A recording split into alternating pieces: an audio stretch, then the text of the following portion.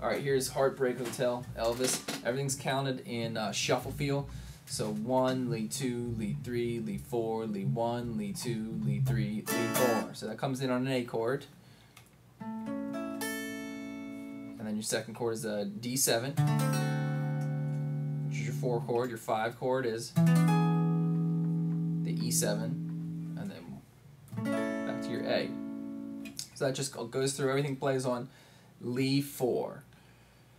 and then in uh, when we go to the 4 and 5 chord, you're to go 1, 2, and 4, 1, 2, Lee 3, 4, 1, 2, Lee 3, 4.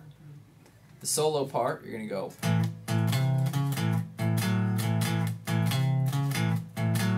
Four times, and then to the D chord.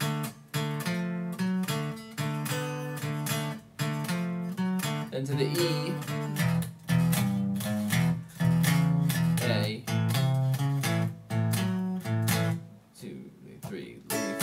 into that. You're ending. You're going to count that bass line.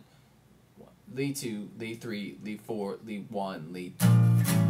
Okay, so you're playing a flat two chords, B flat seven to A, starting on two.